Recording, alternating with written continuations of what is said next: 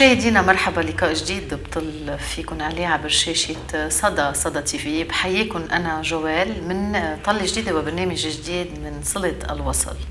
بهالمناسبة أنا بيسعدني آه، حي السيدة ماري حسري. أهلا كيف الصحة؟ بونجور جوال. صحفية باحتراف آه، ورح تحكينا عن القلم الصحافي عن اللغة في الصحافة اللغة البيضاء وإلى ما هنالك. أهلا وسهلا فيك ماري. ميرسي جوال. خبرينا شوي. كيف شقيتي أول شيء هيك طريقك؟ كيف بلشتي بالدراسة؟ وليه اخترتي الصحافة؟ آه اخترتها بصراحة بالصدفة. يعني كان بعدني بالمدرسة terminale وبالصدفة إجت لعنا معلمة عم تعلمنا sociologie كانت بتعرفي دائما الأهل بيوجهوا البنات بمجتمعنا ما لك إلا تعملي معلمة ما لك إلا تعملي معلمة. صح. فبال terminale إجت المعلمة لعنا عم تعلمنا علم الاجتماع sociologie وكانت هي صحفية. ليه ما بفوت صحافة يعني؟ إنه حلوة هيدي. استفسرت عنها سألت وهيك فيها. يعني قدمت على الجامعة وانطلقت فيها لل كدراسة بالأول. آه، تخصص لأنه ضمن ال system الجامعة لازم تعمل stage نعم. فبلشت stage من ثاني سنة. وين عملت stage؟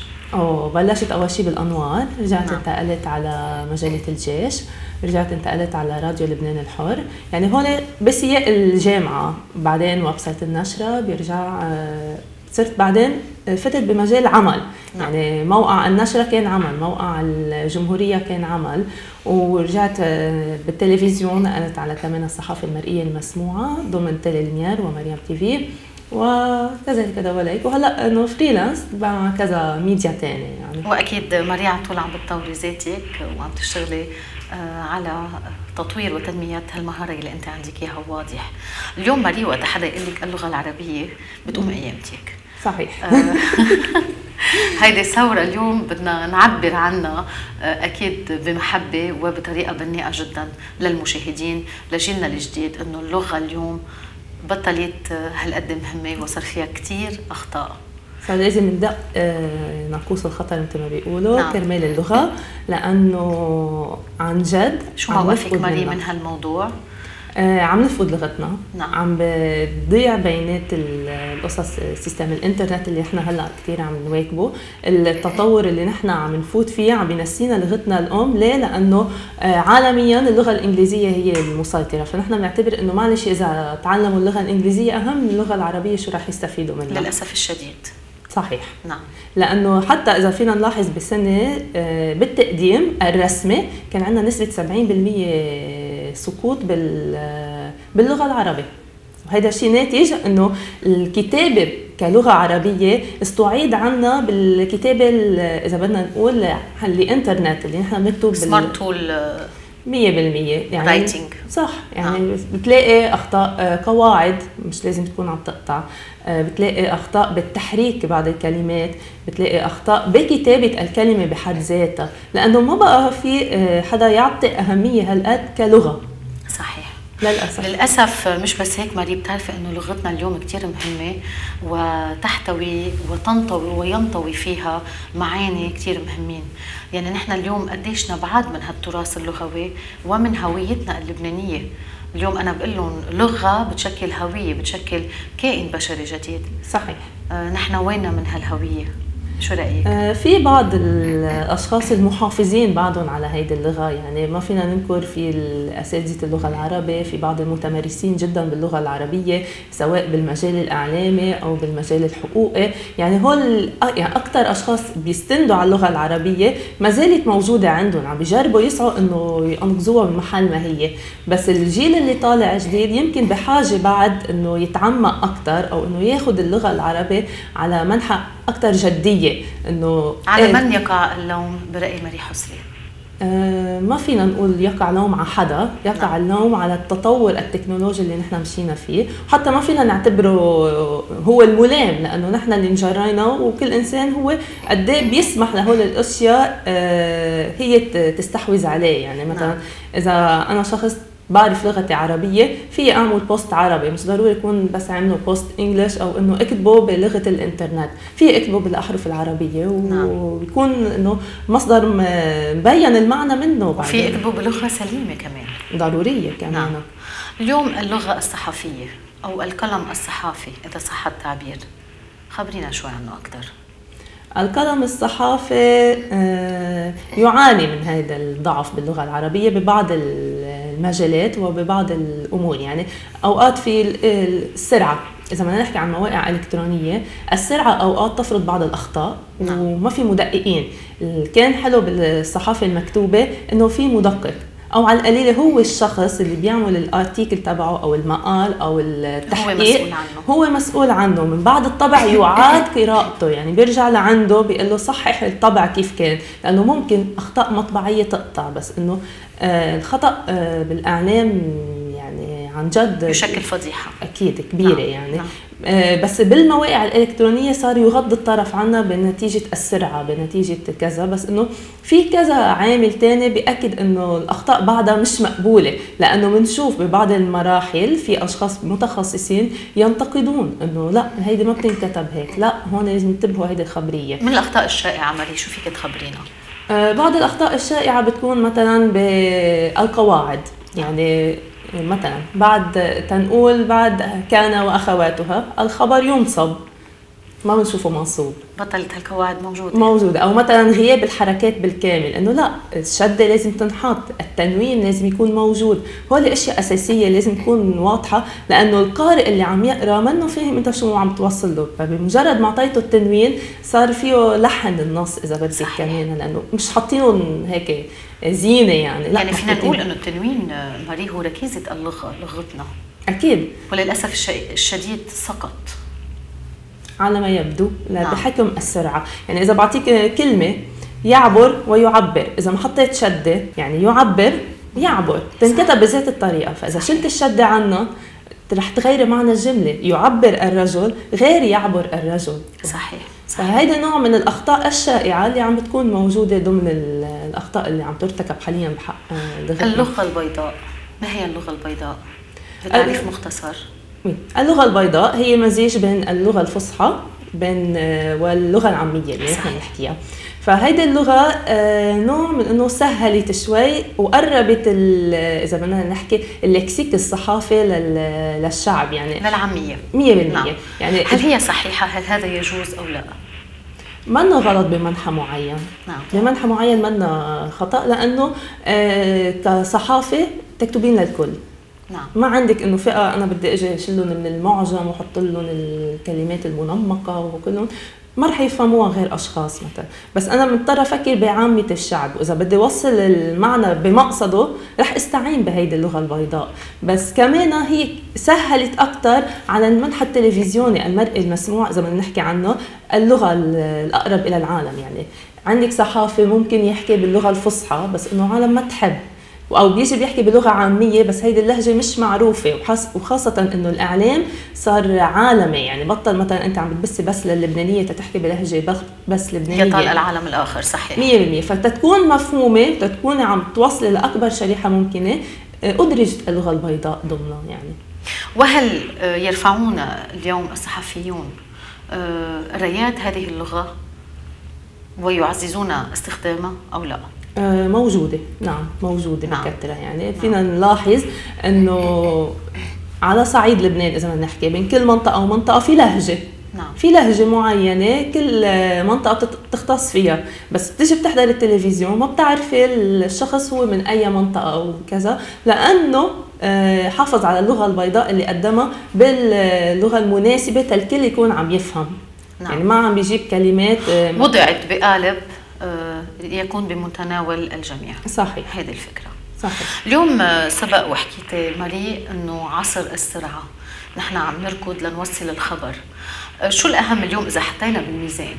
شو الأهم؟ يوصل الخبر بأخطائه. رح أقول الأخطاء المعنوية بالمعنى باللفظ باستخدام العبارات. وما يكون خطأ أساسي بتوصيل الخبر الصحيح أم لا. اليوم ماري وين تطلع أكثر نحن عم نحكي على العصر السريع وعم نحكي إنه الخبر يكون واصل لهال target audience الجماعه يلي هي مستهدفة. هو شو بتفضل ماري شو الأفضل أو شو اللي لازم يكون آه، أن يطبق أكثر آه الاثنين مهمين بس لأنه نحن بعالم سرعة وتنتشر الإشاعات بطريقة آه، كثير كبيرة. فالأول شيء الدقه بالخبر اللي أنت عم توصله والتأكد من صحة الخبر اللي عم يوصل ومن بعده اللغة. يعني لكن اللغة بتاخذ المرتبة الثالثة. الثانية لأنه الدقة والخبر الصحيح اللي بيشملوا بعضهم يعني. نعم. إنه أنت المصدر الموثوق عم يعطيك الخبر والمعلومة الصحيحة يعني. أنا لو وصلت الخبر باللغة المضبوطة والطريقة إذا إذا لا يلام الموقع الإلكتروني وقت تكون لغته ركيكة إذا صح التعبير أو يلام؟ بلا يلام. لأنه بهم إنه أو الأهم إنه يوصل الخبر بدقة وصحة معلوماته. أكيد لأنه يكون عم ينشر أخبار كاذبة أخطر بكثير من إنه يعمل خطأ ويقدر يصلحه. اذا الأولوية للدقة. بالمواقع الإلكترونية. نعم. في المواقع الإلكترونية بالصحف يختلف الأمر لأنه الصحف معهم وقت يتأكدوا منه. شو الفرق بليز الموقع الإلكتروني آني. الصحيفة تقريها تاني نهار. فمعك وقت تفتشي عن الأخبار ضمن الصحيفة المكتوبة. نعم. بينما إذا كنت عم تشتغلي لموقع إلكتروني فأنت حاليا شو عم بيصير؟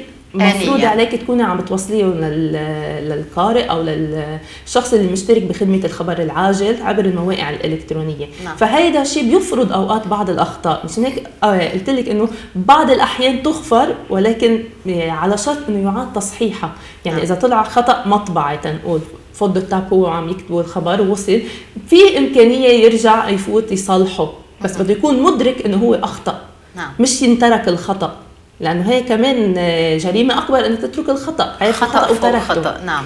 هيدي هي. بينما بالصحيفة في عندك الصحفي الذي يكتب في رئيس التحرير اللي هو كمان مسؤول إنه يكون عم يشرف على المواضيع وفي المدقق الصحيفة. نعم. ومن بعد ما تنطبع تنطبع نسخة أولية ترجع المواضيع تقرأ وبالتالي صارت مسؤولية triple و quadruple بعد أكثر بكثير من إنه آه الخطأ اللي على المواقع الإلكترونية. فساعتها أكيد لا تغتفر الخطأ اللغوي بالصحيفة.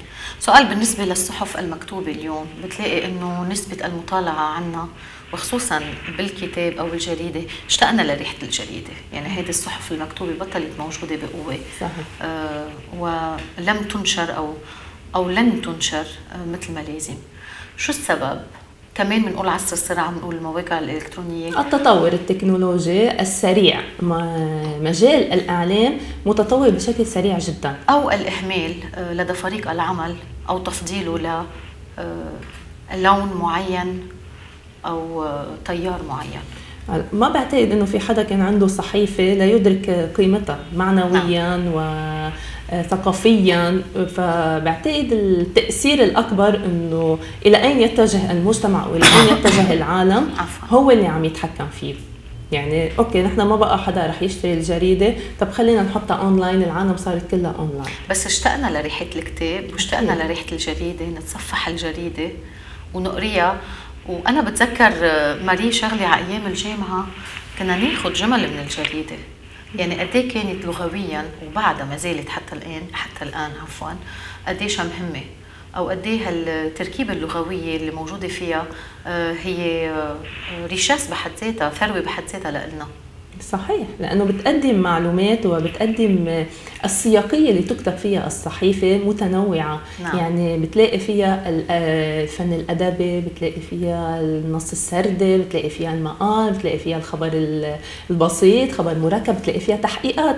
يعني متنوعة وغنيه جدا. وهيدا الشيء يعتبر متعددة الألوان طبعا. اللغوية. وفيك تلاقي المواضيع اللي بدك إياها بين رياضة بين فن بين ثقافة أخبار سياسية. هيدا الغنى كله ما إنه ما حتحسي فيه بأهميته انت قاعد عم تقري آه، على الإنترنت. إنه نعم. okay رح تفتحي ال website رح تقري الأخبار اللي موجودة آخر الأخبار حاليا. في شيء همك رح تقريه.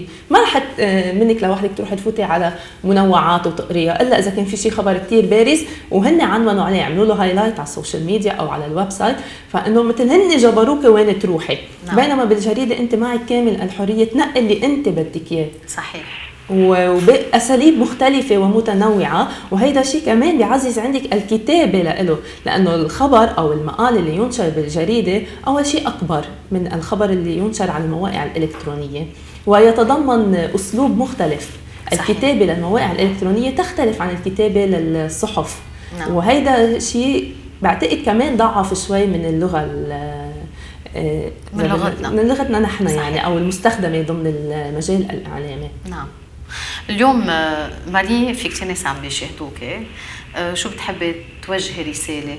أقل للجيل الصاعد بتنصحيهم يتوجهوا صوب أو نحو الصحافة؟